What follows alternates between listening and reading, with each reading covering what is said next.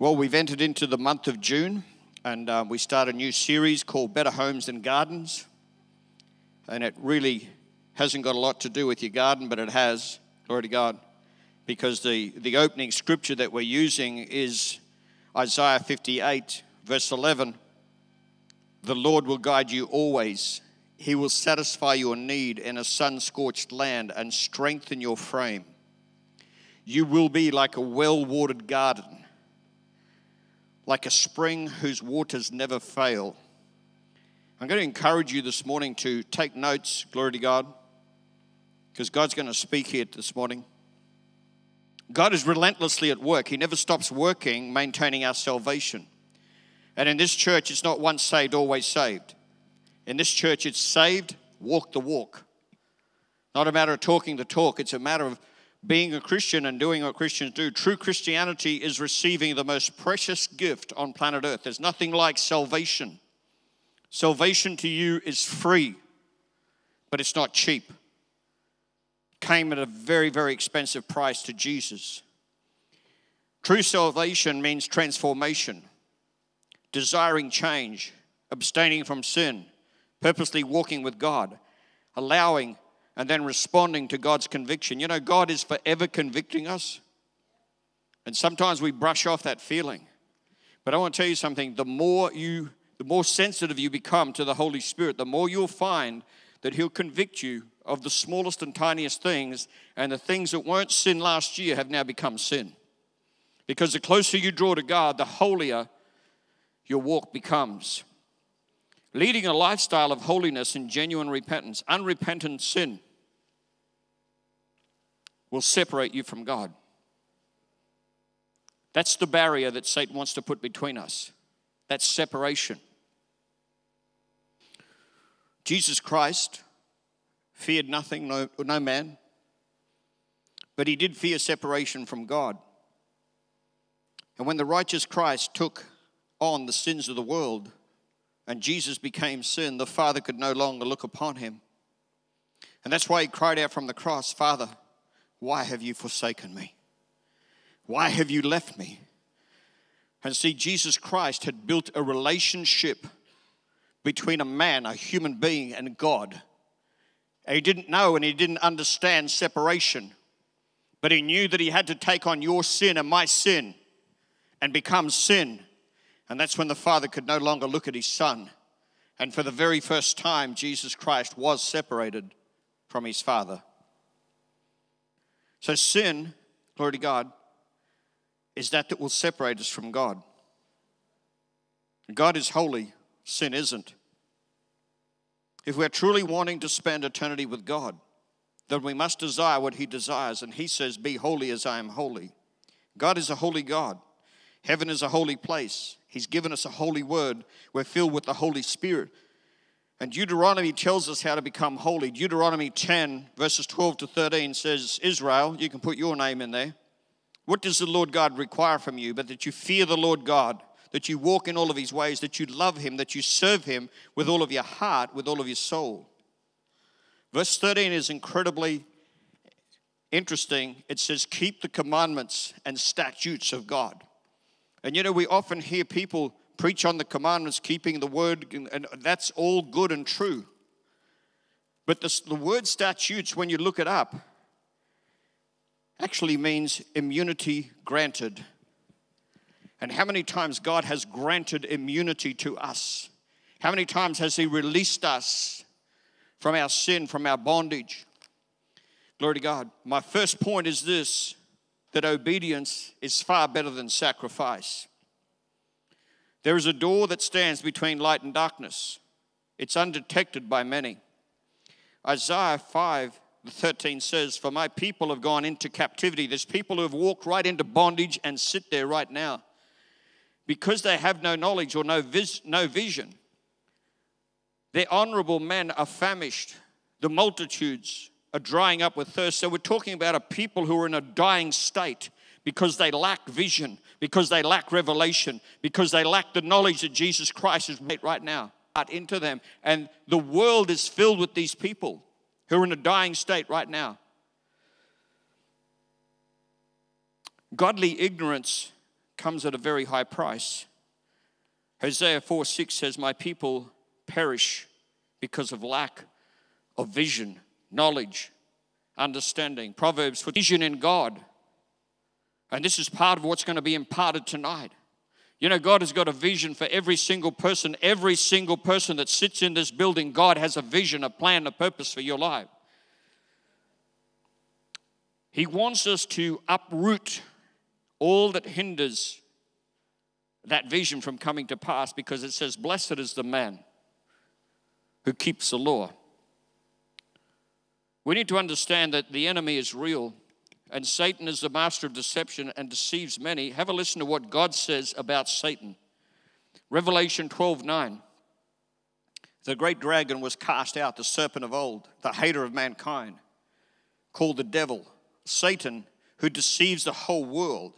Did you get that? Satan, who deceives the whole world. The whole world is under a deception, glory to God, and the only way you can come out from under that deception is through relationship with Jesus Christ. And there are people out there believing this and believing that, and not knowing that soon they'll give an account to God. Now, get this. We're talking about vision. We're talking about having a pathway set before you. Here is Satan's vision Satan who deceives the whole earth. What's our vision? Go into all the world and preach the good news unto every creature.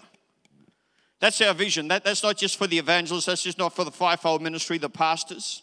That's for every believer, a priest, every person sharing the good news, every person telling someone about Jesus. Because here's Satan's vision clear as crystal Satan who deceives the whole world. Well, we've got to, we've got to pull people out of that deception. Satan tries to subtly undermine God's holy word.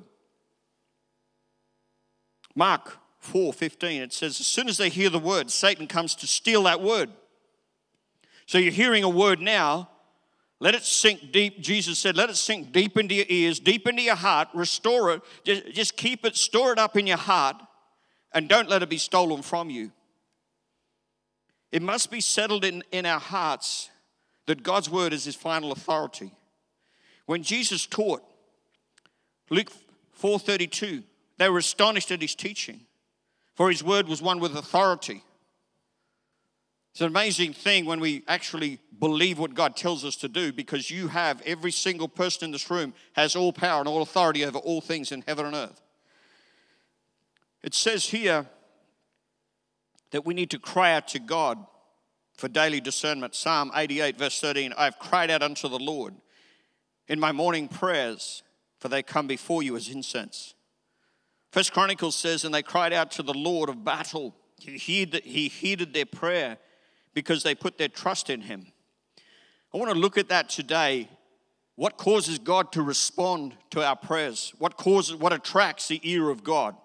That God would listen to me, a man. It says here in Proverbs 3, verses 5 Trust in the Lord with all of your heart, lean not to your own understanding, in all of your ways acknowledge him, and he shall direct your path, you need to understand something that His path in your life is unfailing. It's unfailing. It's the best path you could ever walk. And Satan does everything he can to take us off that path. Is it all right to preach like this this morning, to tell you the truth, the whole truth, and nothing but the truth?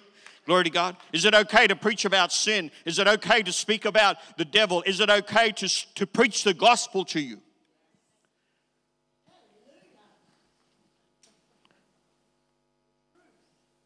Proverbs 1 7 says, The fear of the Lord is the beginning of all wisdom and knowledge. The wisdom and knowledge that we're speaking about comes from above. Godly fear leads to wisdom and breeds righteousness. Romans 5 19 says, For by one man's disobedience many were made sinners. So Adam sinned in the garden, he opened the door to sin, and sin entered the hearts and the lives of many men.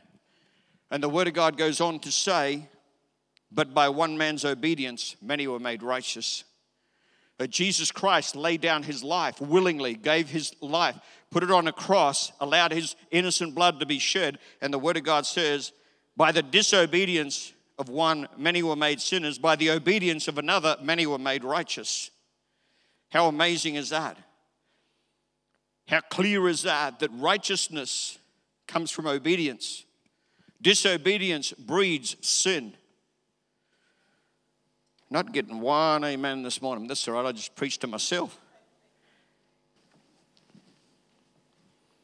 The Word of God says, James 4 7, submit to God, resist the devil, and he will flee. Verse 8, draw near to God, and he will draw near to you. We're told to cleanse our hands, purify our hearts. You know, when Jesus was in the Garden of Gethsemane and he cried out to God and said, God, I need some help here. Do you know it actually says that the angels came and ministered to him? Matthew 4:11 says, "And the angels of God came and ministered to Jesus." See, a righteous heart, a righteous prayer shuts the door to the devil. The devil can't penetrate holiness, he can't penetrate righteousness. He could only operate with disobedience and sin. Disobedience is actually giving Satan legal access. What, what, what does disobedience look like? It's Ephesians 4.26 is just one of many examples. When you're angry, don't sin. Don't let the sun go down on your anger. So God's encouraging us to keep short accounts and live a righteous life and not allow disobedience to come. The Word of God says, if you do well, will you not be accepted? But if you do not do well, sin lies, obedience always costs dearly. I'm going to give you an example about what I'm talking about with King Saul, 1 Samuel 15, 15 3. So, my first point was obedience is far better than sacrifice. For the Word of God says, 1 Samuel 15 3, now go and attack Amalek, utterly destroy all they have. Do not spare any of them. Kill all of the people and all of their animals. So, very specific instruction. God said, I've given you the victory in this battle, Saul, but you need to get rid of the enemy. You need to get rid of the enemy. And this is what happens when, because in verse 8 it says Saul, Saul attacked the Amalekites. He obeyed God. He took Agag, king of the Am- Amalekites, disobeyed, utterly destroyed all the people with the sword, obeyed. Saul compromises and refuses to go through with God's instruction because in verse 9 it says, Saul and all the people spared Agag. Now, this is where it starts. They spared the king, they spared the best of the sheep, the oxen, the fatlings, the lambs, and all that was good. They were unwilling to destroy. When God says, get rid of it, get rid of it. Like there are certain things that God. Stop the swearing, stop the fighting, Stop the drinking. Stop the smoking. There were many things that God said, stop it. Stop it. But they were unwilling. What did God goes on to say in verse 10? Now the word of the Lord came to Samuel saying, Wow, I'd hate, I'd hate to hear God say this to me. I greatly regret that I've set up Saul as king, for he has turned back from following me and not obeyed my commandments. And it grieved Samuel the prophet. And Samuel goes, Blessed are you of the Lord, for I've, com- I've, I've performed the commandment of the Lord. Saul was walking in total deception. He believes he's done right. He's, he, he went to war and he put everything to the sword, but he spared this and he spared that and he spared this and he spared that. And when God's wanting to get rid of it, and Samuel the prophet said, What then is that bleating of sheep in my ears? He said, What is that that I hear? You destroyed everything. Really? Listen to the excuse. For the people spared the best of the sheep and the oxen to sacrifice to the Lord God. Guess what? God doesn't want that sacrifice. Good intentions, Good intentions. I love this. Verse 16 And Samuel said to Saul, Be quiet. In other words, shut up, king, and listen to what God is saying. I will tell you what the Lord is saying. The head of the tribes of Israel. Did not the Lord anoint you king over Israel? So God had not only anointed Saul, but get this, he had put his trust in Saul. He said, Saul, I want you to lead my people, not astray, to where I want to take them, to where I want them to be. And the question is asked in verse 19 Why then did you not obey the voice of the Lord your God? Verse 20, look at the deception now. Compromised obedience. This is where it leads to. But I have obeyed the voice of the Lord. I have. And I brought back King Agag. Guess what? God said, Don't bring him back. And I've utterly destroyed the enemy. Here's a part truth. Verse 21 But the people took the plunder, the sheep, the oxen, and the best things that should have been utterly destroyed. Get this to sacrifice to the Lord your God. He's insulting the prophet now, saying, We, we did this to, to sacrifice to your God, Samuel. Now, Saul should have said, My God, but he identified that the God that he was serving was not the God that the prophet was serving. Check this out in verse 22. So Samuel said to Saul, Has the Lord great delight in burnt offerings and sacrifices, as in obeying the voice of the Lord? Behold, behold, switch your ears on, hear this. To obey is better than sacrifice. First point there, glory to God, that obedience is far better than sacrifice. Rebellion. God got rid of it. He threw all repast down upon the earth. Do you think that God is going to allow rebellion to go back into heaven? I guarantee you it won't. Because 1 Samuel 15 23 says, For rebellion is as a sin of witchcraft, and stubbornness as iniquity leading unto idolatry. For you have rejected the word of the Lord, so he has rejected you. Wow. Talk about getting a slap in the face. I want to share something with you that is so real to me right now. But at the beginning of the year, God spoke to me. He said, I want you to get closer to the Holy Spirit. I said, Lord, I, I got a good relationship with the Holy Spirit. He said, I didn't say that. I want you to get closer to the Holy Spirit. So I embarked upon a journey I said, Lord, what are you saying to me? He said, I want you to know the person, the person of the Holy Spirit. He said, You know healings, you've seen his deliverances, you know the presence of God, you know the anointing, but now I want you to know him, the Holy Spirit. And I thought, wow, okay, Lord. A couple of months went by and I've been directing all my attention to the Holy Spirit. And I shared this with someone. They said, that, that, that's, you, you got to put your attention on Jesus. Listen to me.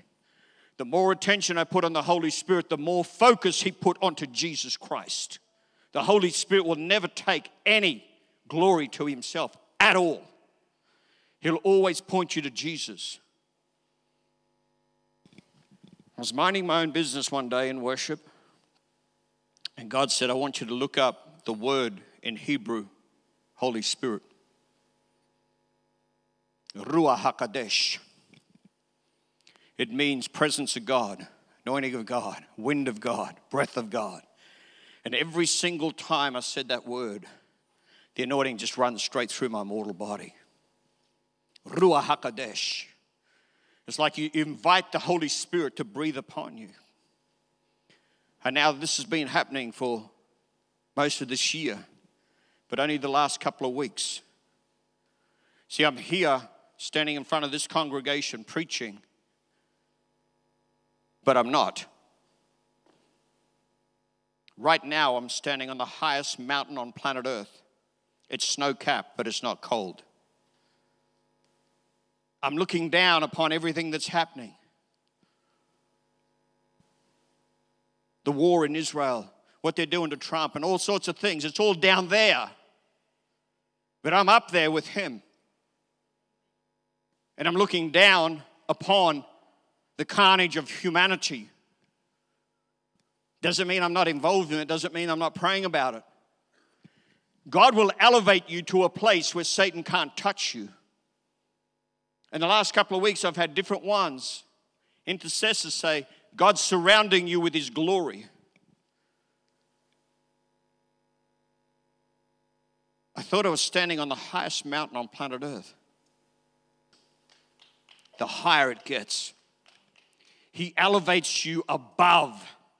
Psalm 27 says, And now my head shall be lifted up above all my enemies that surround me. Guess what? The enemies are all there, down there.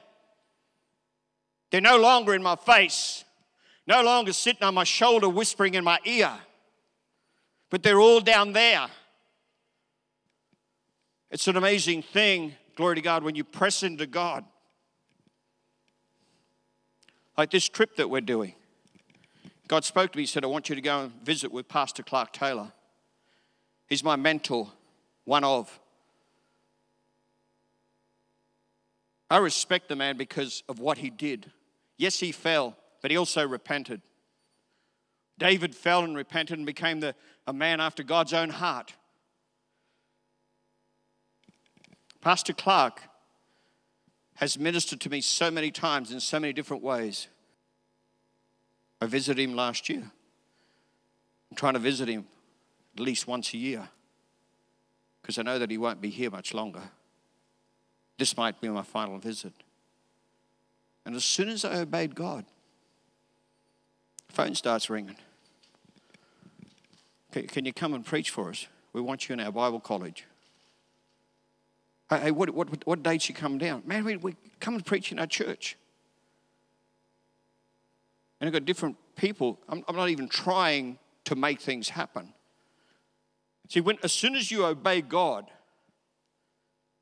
I didn't say, well, hang on, I'll, I'll, go and, I'll go and line up my ministry appointments, and if I've got time, I'll go and see Pastor, Pastor Clark. I want you to see him. Yes, sir. Rang up Clark, said, we're coming down. Booked the tickets. When you obey God, God will open doors and He elevates you. He tells us in Proverbs 3 7, don't be wise in your own eyes. He tells us in Proverbs 4:20, listen closely to my words. Keep them within your heart. Psalm 91 verse 15 says, "He shall call upon me." Look at this, and I will answer him. I will be with him in trouble. I will deliver him. I will honor him. With long life will I satisfy him and show him my salvation. God says, in those short few, verses five times I will, I will, I will, I will, I will, when you obey. Obedience is an amazing thing because he said, If you love me, obey me. When we disobey God or we operate in unbrokenness, which is my second point, we actually give access to Satan. Disobedience opens the door to something you don't want to open the door to. How do I know? I have disobeyed God previously. Try not to do it anymore. Ask God to give me strength. I said, Lord, what are we doing today? He said, I want you to open the altar when you finish preaching. And He said, I'm going to pour out strength to obey. And every time God tells me to do something, I said, But God, he said, Don't, don't butt. Goats butt, sheep don't. Every time God asked me to do something, like He asked me one time, build this building, I thought, wow, really? As soon as we put a bit of this, started digging the holes, the finances started pouring in, the provision started coming. And I want to tell you something quite clearly this building will not contain what God is about to do on planet Earth. God views where it is that we worship. Saul was called of God, born, anointed to be king. Even his statue was above everyone. He was perfect for the job. But guess what? He was totally disqualified. The anointing removed off him, given to another who was unqualified but willing.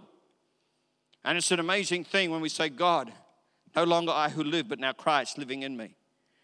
Are we willing to lay down our lives before God as Christ laid down his life for us? Second Thessalonians 2 7 says, For the mystery of lawlessness is already at work. There are lawless spirits out there that operate. And you know, after 12 years of prison ministry, there's something that I learned in that ministry that just opened my eyes. I ministered to men who had murdered people. And they would testify and said, But but but this voice, this voice told me to do it. I said, Yeah, but the voice ain't doing time. You are. Because you listened to the wrong voice. And God is speaking to us this morning. Anybody getting anything out of this? Mighty quiet out there this morning. Listen to what God says. This is what God is trying to do.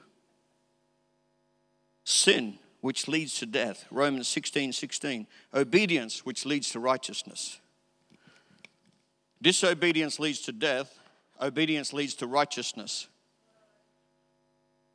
Doesn't get any clearer than that. Godly obedience breeds strength. It actually strengthens you when you obey God. If you love me, keep my commandments. Who believes that they're smarter than God? He's all knowing, wisdom, knowledge. Under, he's got, man, he is so perfect. And I am so imperfect. But I'm being perfected by God through his wisdom because his ways are unfailing. His ways are unfailing. He's got unfailing wisdom. Point three the absolute blessing that comes from godly obedience. John 14 23 says, Jesus said, If any man loves me, he will keep my word, and my Father will love him. Get this, and we will come to him and make our home with him. God's invitation is that the triune nature of God, God the Father, God the Son, God the Holy Spirit, want to come and live with you in your life, in your house, in your family. Guess what? God the Father, God the Son, God the Holy Spirit, you are most welcome to come and live in our place. Please come and live in our house. Why? Because I've lived with darkness previously. How do we achieve godly obedience? This is how you achieve it. John 14, 26. But the Helper, the Holy Spirit, whom the Father will send in my name, he will teach you all things, he will bring to remembrance all things. And as believers, we need to do nothing else except love God. It ain't hard. He said, If you love me, obey me. You know, I used to drink a fair bit. When I got saved, three weeks after I got saved, at night I'd drink my rum. During the day, we'd be breaking horses, breaking bulls, picking up hay, doing all sorts of physical work. I'd come home and just grab my six pack of beer every day. And three weeks after I got saved, God said, Son, when are you going to stop? I said, God, my whole life, it's part of who I am. But you know what? If you help me, I'll stop right now. And he said, You listen to me and you obey me. I said, All right. Go to the fridge. You open my fridge back then, it was just amber in color. Vicky couldn't find anywhere to put her fruit and veg, it was full of beer. I went to the fridge, opened it up, grabbed all the beer, put it down the sink. He said, Now the medicine cabinet. See how clear it is in my, in my head? I can see it right now. Open the medicine cabinet. Bottle of Captain Morgan. Down the sink. Bundy rum. Ouzo. This, that. Until I finally got to an uncracked bottle of Bundy rum down the back. And I said, I'll leave that for Vicky's cooking. He said, Don't be a fool, son. Put it down the sink. Do you know back then I was quite a fit man? And I got that bottle and I could not crack it. My hands were shaking. Could not crack the lid. I've cracked that many lids of rum bottles. It's not funny. Could not crack that one. My hands were shaking. I cried out to God and said, God, if you want me to do this, you've got to strengthen me. I saw it, me crack the lid, put it down. As that fluid ran out of that bottle, I saw it run out of the bottle into the sink. As that thing ran out of the bottle, this thing come out of me. A spirit of addiction left me. I didn't go to rehab. I didn't have counseling. I didn't have the pastor lay hands upon me and pray for me. Not that there's anything wrong with any of that stuff. It was me and God over the sink and obedience versus, and He strengthened me. And that's what He wants to do today. That's what He wants to do today. He will strengthen you to obey Him. I might add that was 33 years ago, and I have not touched one drop of alcohol since. So, anyone shout amen here what? Am I boring you? Is this boring? It's real. It happened. Should encourage you. But the help of the Holy Spirit, cry out to the Holy Spirit. John 15, verse 1 says, I am the true vine, my Father is the vine dresser, and every branch in me that does not bear fruit, he takes away. Get this, and every branch that bears fruit, he prunes. Ouch. The pruning process of God is not an easy one. And I keep asking God not to use the chainsaw and use the secateurs when He prunes me. Because the chainsaw hurts. The secateurs are a bit more gracious. But I've also come to learn one thing that if I obey Him, there's no need for a chainsaw and there's no need for secateurs. There's just obedience. He's trying to show you something here today. John 15, 8 says, By my Father, by this my Father is glorified that you bear much fruit, that you be my disciples. You know, when you talk to that neighbor across the fence, let them see Jesus. When, when, you, when you're at your workplace and your workmates, let them see Jesus. Glory to God. Be his disciples. Let everyone see Jesus Christ in you. John 15, 11, it's already been spoken here today. These things I speak to you that your joy may remain in you.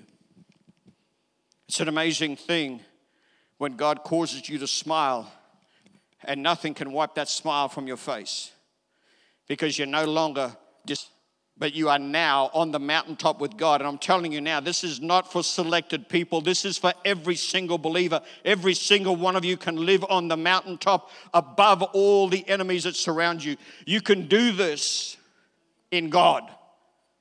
You'll never achieve it by yourself. Listen to what he says. These things I have spoken to you, that my joy may remain in you, that your joy may be full.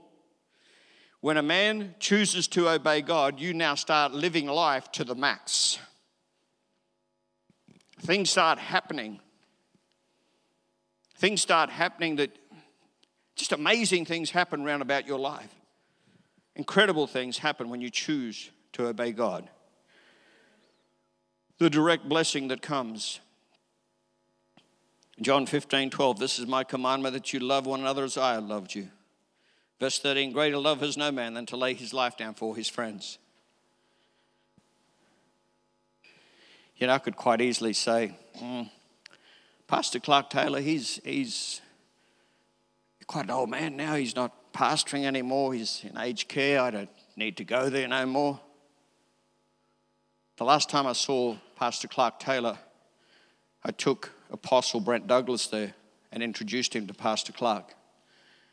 And as Pastor Clark prayed, I share this before God. His whole face changed as the anointing just swept through him. And I watched an old, aged, infirm man become so powerful in prayer. His whole face changed. He looked 20 years younger in 10 minutes. God showed me what the anointing can do will do to you. It is the wellspring of life. When you're still being attacked by the enemy, but the enemy can't touch you. John 15, 16. Wow. Whatever you ask in my Father's name, he will give you. John 14, 1. Let your heart not be troubled. Believe in God. Believe in me also. John 14, 2. In my Father's house are many mansions. I go to prepare a place for you. I'm going to believe that every person in this building is going to go to heaven.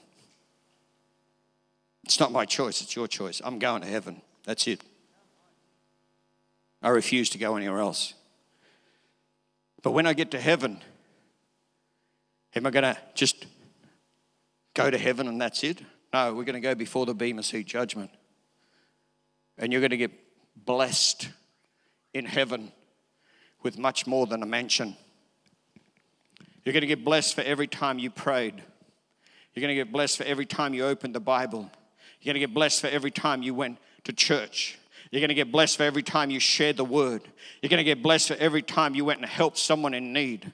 You're going to get blessed for every time you did any sort of godly deed. And we don't do it for the blessing, we do it to obey God. I don't pastor this church for no other reason except to obey God.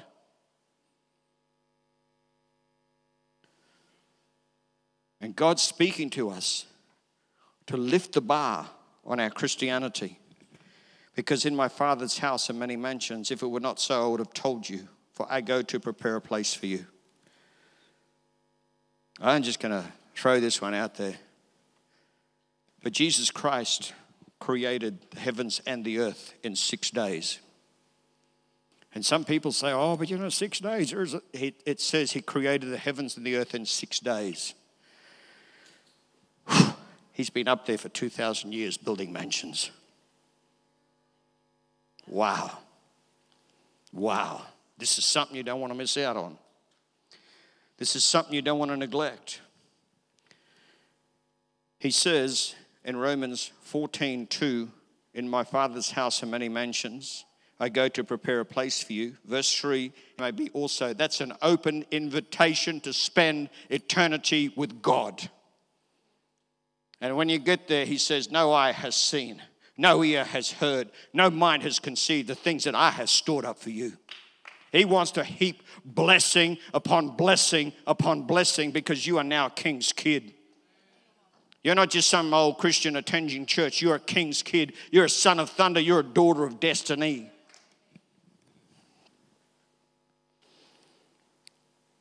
Believe it and receive it and it's not Ripley's, believe it or not. This is Jesus Christ. Believe it and receive it. John 14, 4 says, And where I go, you know, and the way you know. The Bible is our code of conduct, our survival manual. It's your roadmap to heaven. We all have a roadmap, tells us where we're going. I close with this John 14, 6. Jesus said, I am the way, I am the truth, I am the life, and no one comes to me except through the Father. I believe today God wants to strengthen whoever wants to be strengthened to obey God.